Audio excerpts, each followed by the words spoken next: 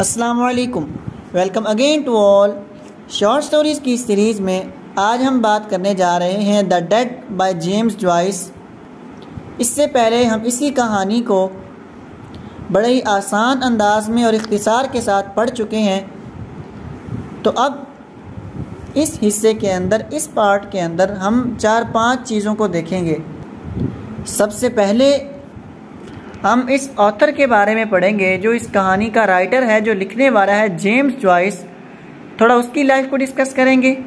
उसके बाद दूसरे नंबर पे हम ये देखेंगे, द डेड को द डेड क्यों कहा जाता है? इसके तीन चार एंगल हैं, तीन चार एस्पेक्ट्स हैं, उन सबको देखेंगे। तीसरे नंबर पे इस कहानी के थीम्स के बारे में बात करेंगे। इसमें जो टेक्निक्स यूज़ हुई हैं, जो एलिमेंट्स यूज़ हुए हैं जो सिंबल्स यूज़ हुई हैं, उनके बारे में बात करेंगे। इसके अलावा और जो मज़ीद इम्पोर्टेंट चीज़ें हैं, उन सबको लेकर चलेंगे। तो आज की ये वीडियो पॉइंट ऑफ़ एग्ज़ाम्स के पॉइंट ऑफ़ व्यू से बहुत इम्पोर्टेंट है। तो आपने बग़ैर कहीं और तवज्जो किए, इस वीडियो को मुकम्मल आखिर तक सुनना है, ताकि एग्ज़ाम्स में अच्छी तरह, अच्छी कारकर्दगी दिखा सकें। और किसी किस्म की दुशारी पेश ना आए। सो बगैर टाइम वेस्ट किए लेट स्टार्ट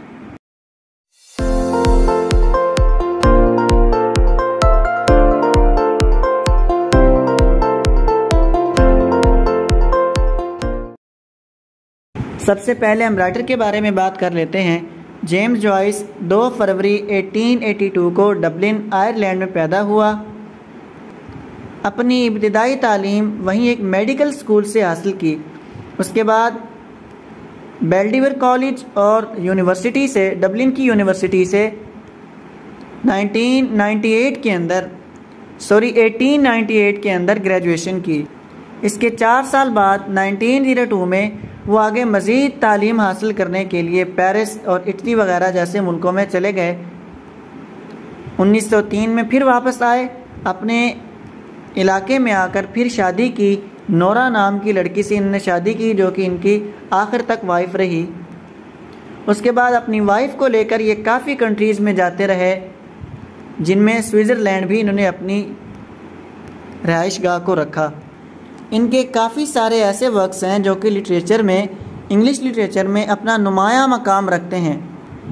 इनके जो मोस्ट इम्पोर्टेंट वर्क्स हैं, जो बहुत काबिल ज़िक्र हैं उनमें से एक डब्लिनर्स जो कि 1914 में शाये हुआ, उसके बाद एक्सील्स 1914 में, उसके बाद portrait of the artist as a young man 1916 के अंदर, उसके बाद यूलिसिस नावल 1922 के अंदर लिखा गया 1923 में ये शाये हुआ।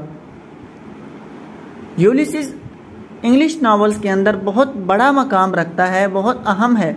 उसके बाद फिंगन वेक ये भी इन्हीं की बुक है। तो यहाँ तक हमने राइटर के बारे में पढ़ लिया। बस इतना इख्तिसार काफ़ी है। अब हम आगे चलते हैं। अब जो सबसे अहम चीज़ है, वो हम देखते हैं कि द डेड को द डेड क्यों कहा जाता है। याद रखिए कि इसके तीन चार एस्पेक्ट्स हैं, तीन चार पहलू हैं, जिनकी वजह से द डेड को द डेड कहा जाता है। सबसे पहली चीज़, देखें, आयरलैंड के अंदर जिस वक्त ये कहानी लिखी गई, उस वक़्त आयरलैंड के अंदर बहुत ज़्यादा लोग मुलहिद थे। यानी निश्चय की फ़िलासफ़ी उस वक़्त आई थी, द गॉड इज़ डेड के खुदा के वजूद को ही नहीं मानता था। उसका बहुत ज़्यादा असर था। इसके अलावा कार्ल मार्क्स की थ्योरी उस वक़्त क्लास सिस्टम की आ गई। सिगमेंट फ्रेड, इसकी स्ट्रीम ऑफ़ कॉन्शियसनेस। तो इस तरह लोग मज़हब से दूर होते गए, मज़हब से बेजार होते गए और लादी नीयत का शिकार होते गए। जिसकी वजह से उस वक़्त लोगों लोगों में बहुत सारे लोग एथीस्ट हो चुके थे। तो लोगों की रूहें दीन से बहुत ज़्यादा पैरालाइज हो चुकी थीं। यानी दीन के अंदर लोग बिल्कुल मुर्दा हो चुके थे, मुर्दार की हैसियत रखते थे, कोई उनको दीन का है ही नहीं।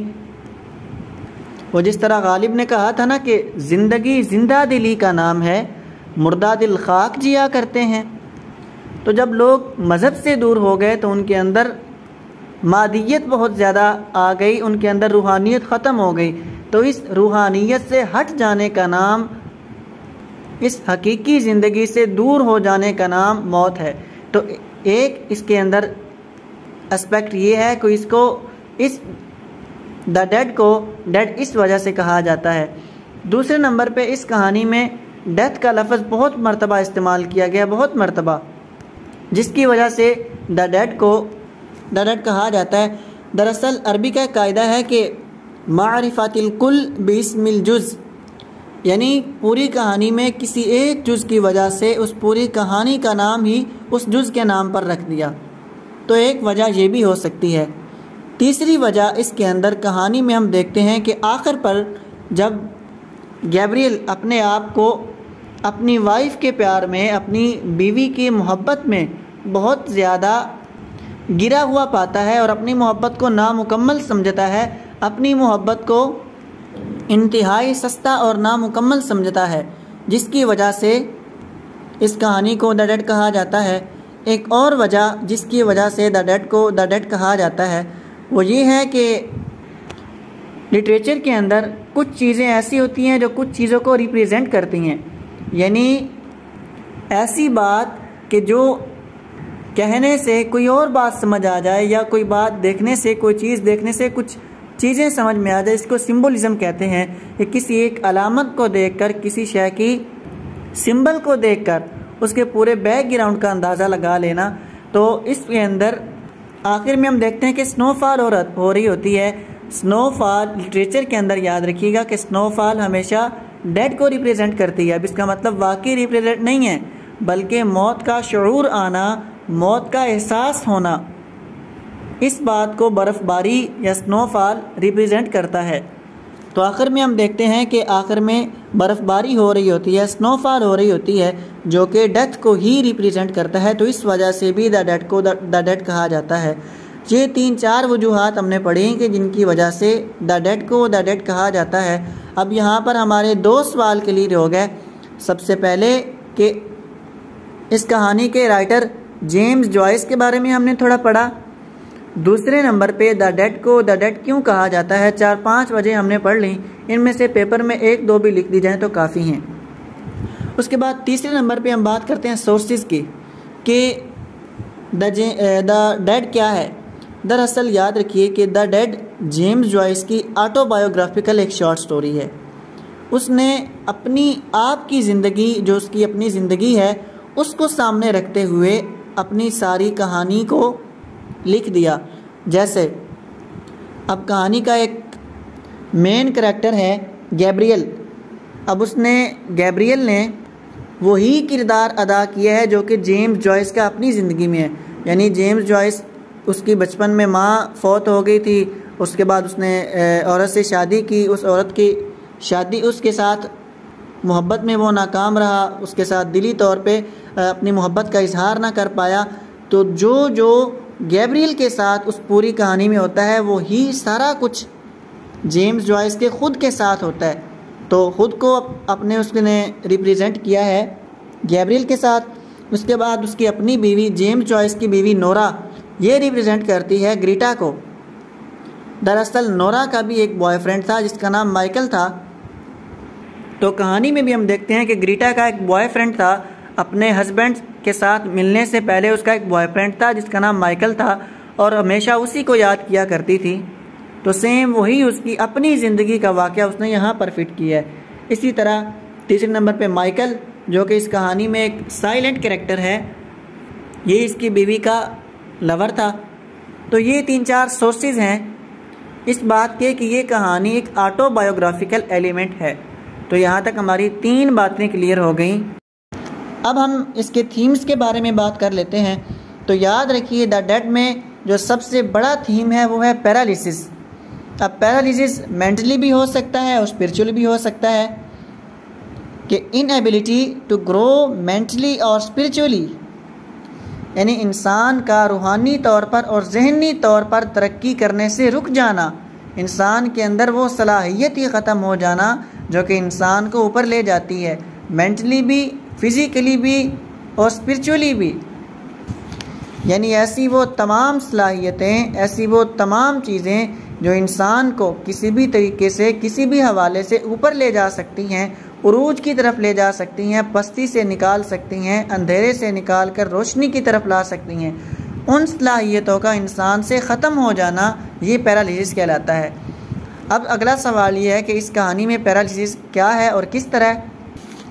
उसमें दो तीन चीज़ें हैं। सबसे पहले तो गैब्रियल, उसका अपनी सोसाइटी के बारे, अपने माशरे के बारे, अपने लोगों के बारे, अपने कल्चर के बारे, अपनी लैंग्वेज के बारे, अपने कंट्री के बारे ख़याल अच्छे नहीं होते, वो अपने लोगों को इतना पसंद नहीं करता।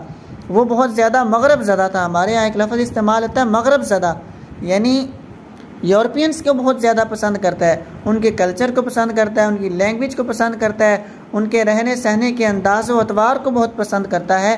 तो गैब्रियल, चूँकि डेली एक्सप्रेस में लिखता था उनके लिए, उनके कॉलम लिखा करता था, उन पर रिसर्च किया करता था, उनके यहाँ इनका, इसका आना जाना रहता था तो इस वजह से अपने लोगों से, अपने कल्चर से इसका प्यार और ख़ास कर हुबुल वतनी इसके अंदर से बिल्कुल ख़त्म हो चुकी थी।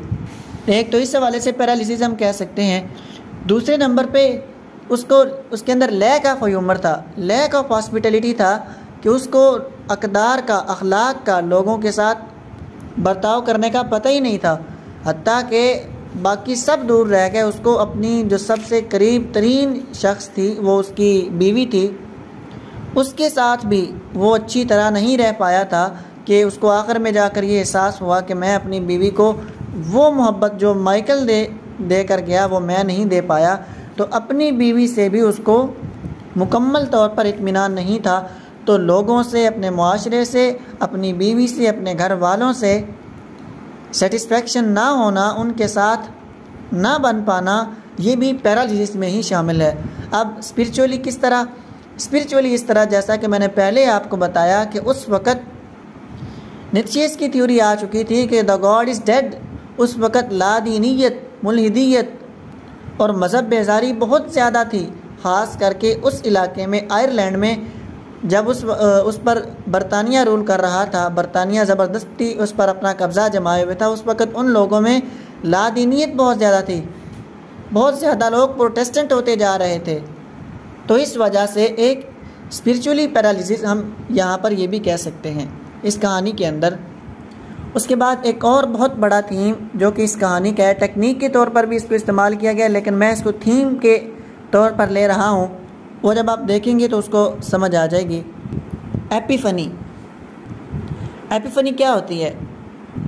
द डेट के अंदर एपीफनी को इस तरह इस्तेमाल किया गया है कि सडन रियलाइजेशन ऑफ़ मोमेंट इंसान सदियों से या काफ़ी अरसे से या काफ़ी लम्हे से, काफ़ी महीनों से, काफ़ी घंटों से कोई गलती करता आ रहा है या पूरी उम्र से, पूरी ज़िंदगी से कोई गलती करता आ रहा है, शुरू से लेकर अब तक वो तमाम का तमाम गलत रास्ते पर था, गलत काम में लगा हुआ था, लेकिन एक लम्हा ऐसा आना, कोई एक पल ऐसा आना कि उसको अचानक एहसास हो जाए अ सडन रियलाइजेशन उसको अचानक इस चीज़ का शूर आ जाए कि मैं गलती पर था, मैं ठीक नहीं था तो अचानक उसको अपनी गलती का एहसास होना, ये कहलाता है एपीफनी एपीफनी की समझ आ गई।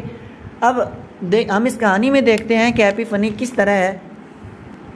एक एपीफनी तो इसके हमें आखिर में देखने को मिलती है जब उसको पता चलता है कि मैं इस कदर बेकार शख्स था, इस कदर गिरा हुआ और पस्ती का शिकार शख्स था कि जो न लोगों से बना पाया, न अपनी बीवी से बना पाया।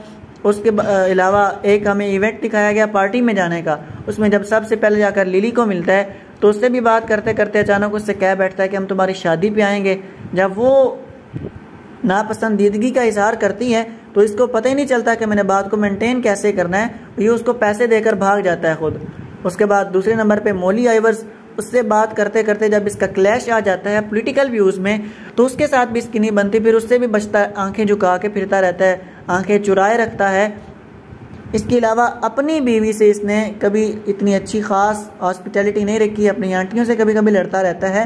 तो एंड पे जाकर इसको एहसास होता है कि मैं किस कदर घटिया अखलाक का मालिक शख्स था। अब इसको अपनी तमाम तर गलतियों का एहसास होता है जो अवेयरनेस होती है। इसको एपीफनी कहते हैं। उसके अलावा और जब इसने अपने बाप की वो बात सुनाई कि वो उसका घोड़ा किस तरह मशीनों को लेकर चलता फिरता था वो आ, विलियम थर्ड का जो वहाँ पर मुजस्मा था उसके इर्द गिर्द घूमना तो वहाँ पर उसको वो पिछली सारी बातें याद आ जाती हैं अपने पेरेंट्स की बातें याद आती हैं। तो एक एपीफनी का एलिमेंट, एपीफनी का जो थीम है, वो यहाँ पर पाया जा रहा है। ये दो तीन थीम ऐसे हैं जो कि आपने हर हाल में याद करने हैं, बहुत इंटरेस्टिंग और बहुत इम्पोर्टेंट हैं। उसके बाद तीसरे नंबर पे इसमें आ जाता है contrast between blue blood and poor mouth blue blood कहते हैं जो अमीर तबके के लोग होते हैं, जो इलीट क्लास होते हैं, और पुअर माउथ होते हैं गरीब लोग। जैसा कि मैंने आपको बताया कि उस वक़्त कार मार्क्स की थ्योरी आई थी क्लासिज्म की। मार्क्सिज्म भी कहा जाता है कि गरीब गरीब गरीब से गरीब तर होता गया और अमीर अपनी अमीरी से अमीर तर होता गया। तो मार्क्सिज्म की जो क्लासिज्म की थ्योरी थी, उस वक़्त इसका भी बहुत ज़्यादा असर था। सोशल ऑकवर्ड इसके अंदर बहुत ज़्यादा थे।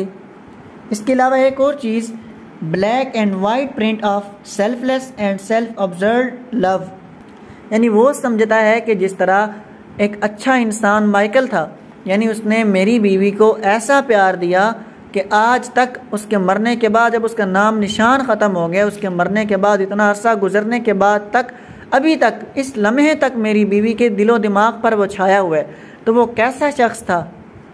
तो अपने मोहब्बत को, अपने प्यार को वो बहुत ही नीचा समझता है, बहुत ही कम तर समझता है माइकल के प्यार से। तो आखिर में जो उसको सेल्फ रियलाइजेशन हो जाती है, ये भी आती फ़नी में ही आ जाता है। उसके अलावा ऑटोबायोग्राफिकल एलिमेंट इसके अंदर बहुत ज़्यादा है, वो मैंने पहले बताया कि जो कुछ जेम्स जॉइस की अपनी ज़िंदगी में सारा कुछ हुआ वही करैक्टर उसने सिर्फ़ करैक्टर का नाम तब्दील किया, बाकी सारी अपनी अपनी ही कहानी, अपनी ही रोदाद अपनी सवाने उसके अंदर उसने लाई है। यहाँ तक याद रखिए दोस्तों, हमने जेम्स जॉइस के बारे थोड़ा पढ़ा उसके बाद हमने इस कहानी को द डेड द डेड क्यों कहते हैं ये पढ़ लिया, उसके बाद हमने थीम्स पढ़ लिए। आई होप कि यहाँ तक आपको बिल्कुल सारी बात क्लियर है, लेकिन इंसान होने के नाते कहीं ना कहीं कोई इशू रह जाता है।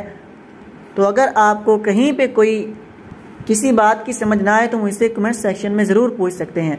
अब हम बात करते हैं टेक्निक्स के बारे में कि इस कहानी में टेक्निक्स कौन कौन सी यूज़ हुई हैं, जो कि राइटर्स ने यूज़ की हैं।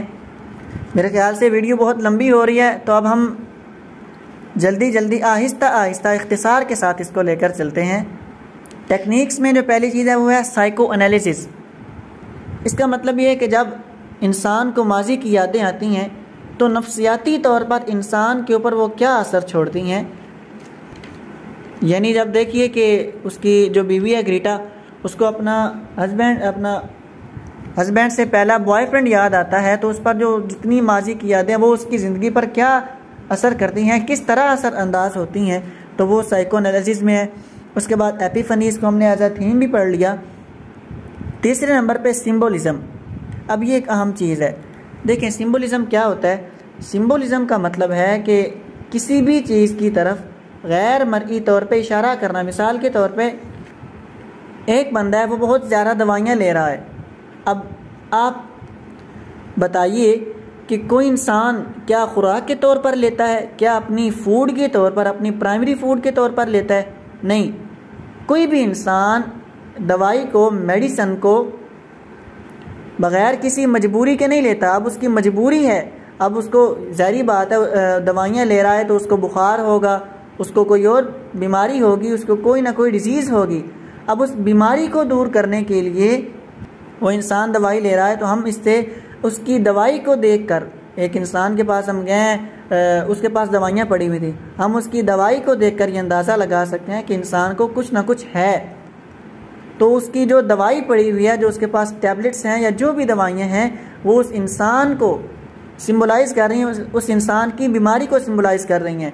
इसी तरह लिटरेचर के अंदर कुछ चीज़ें ऐसी हैं जो कुछ चीज़ों को सिम्बलाइज़ करती हैं। मिसाल के तौर पर जो वाटर है, पानी, ये लाइफ को रिप्रेजेंट करता है, इसको सिम्बलाइज़ करता है और स्नो स्नोफॉल जैसा कि मैंने पहले आपको बताया डेथ को अवेयरनेस ऑफ़ डेथ को रिप्रेजेंट करता है, उसके बाद बारिश, जो रेन है, ये कन्फ्यूज़न को रिप्रेजेंट करती है। तो इसके अंदर सिम्बोलिज्म का भी एलिमेंट पाया जाता है टेक्निक पाई जाती है, उसके बाद इमेजिज्म यानी तस्वीर दिखाकर उसके पूरे पीछे की बैकग्राउंड हिस्ट्री जहन में आ जाना। अब आप कितनी ही ऐसी पेंटिंग्स हैं। अब मिसाल के तौर पे आप एक शोरूम में जाते हैं, वहाँ पर कोई पेंटिंग लगी हुई है, एक ओल्ड हाउस दिखाया गया, एक मिट्टी का बना हुआ घर दिखाया गया। अब आप अगर थोड़ी सी बड़ी उम्र के हैं या आप बड़ों में रहते हैं, आप उस, आप उसको देखते जाएँगे तो आपको समझ आ जाएगी कि किस तरह ये मिट्टी का घर बनाया गया होगा, किस इलाके में बनाया गया होगा, या हम भी इस घर में रहे होंगे। तो इमेज दिखाकर उसका उस बात की पूरी वजाहत जहन में आ जाना, उस पूरी बात की वजाहत पता चल जाना। ये कहलाता है इमेजिज़म। इसके अलावा ये कहानी बहुत रियलिस्टिक बेस है। रियलिज़म की टेक्निक इसके अंदर पाई जाती है। इसके अलावा एक्सप्रेशनिज़म यानी वो बहुत ज़्यादा इमोशनल था। और आखिरी चीज़ stream of consciousness stream of consciousness का क्या मतलब है? बड़ी आसान सी चीज़ है। देखें, इंसान कोई बात, मैं आपसे बात कर रहा हूँ ना तो अब आपसे बात करते हुए मेरे माइंड में जितनी बातें आ रही हैं, वो तमाम बातें मेरे माइंड में चल रही हैं। अब मैं आपसे बात और कर रहा हूँ। मेरे माइंड में बातें और चल रही हैं कि मैंने इसके बाद कौन सी वीडियो बनानी है, इससे पहले कौन सी वीडियो बनाई है, उसमें कौन सी गलती थी, इसको कैसे ठीक करना है? ये सारी बातें जो मेरे माइंड में चल रही हैं, ये स्ट्रीम ऑफ़ कॉन्शियसनेस है। कॉन्शियसनेस का मतलब होता है थाट्स हमारी सोचें। और स्ट्रीम कहते हैं नदी को, जिस तरह नदी के अंदर किसी दरिया के अंदर, समंदर के अंदर पानी एक फ्लो में बहता है, इस तरह हमारे माइंड के अंदर। सोचों की सोचों के बहाव को, बहुत ज़्यादा सोचों को ओवर थिंकिंग को, बहुत ज़्यादा सोचने को स्ट्रीम ऑफ़ कॉन्शियसनेस कहते हैं। तो इसके अंदर ये एलिमेंट पाया जाता है कि एक बात करते करते जेम्स जॉइस काफ़ी ऐसी बातें लिख देता है जो कि उससे रिलेटेड तो नहीं है, लेकिन उसके माइंड में आ रही होती हैं तो वो उनको भी साथ लिखता जाता है। तो अब यहाँ तक हमने इस कहानी का क्रिटिकल एनालिसिस बड़े ही मुख्तसर वक़्त में जाम अंदाज में पढ़ने की कोशिश की है। पहले हिस्से में हमने मुकम्मल तौर पर स्टोरी को समझा उसके करेक्टर्स को समझा। दूसरी हिस्से में आकर हमने इसका क्रिटिकल एनालिसिस पढ़ा। तो आई होप के सा, सारी बातें आपको यहाँ तक क्लियर हैं। और अगर आपको क्लियर हैं तो फिर अगर इम्तहानों में ये सवाल आ जाता है तो ये चीज़ें अगर आपने अच्छी तरह समझ ली हैं और इसको अच्छी तरह आप रिप्रेजेंट करते हैं तो फिर आप इन कभी भी फेल नहीं होंगे। सो मैं उम्मीद करता हूँ कि आपको यहाँ तक अच्छी तरह समझ आ गई है। अगर किसी को किसी किस्म की कोई भी इस टॉपिक के हवाले से कोई कन्फ्यूज़न हो, कोई सवाल पूछना हो तो मुझसे कमेंट सेक्शन में पूछ सकते हैं। And thank you so much for watching अल्लाह हाफिज़।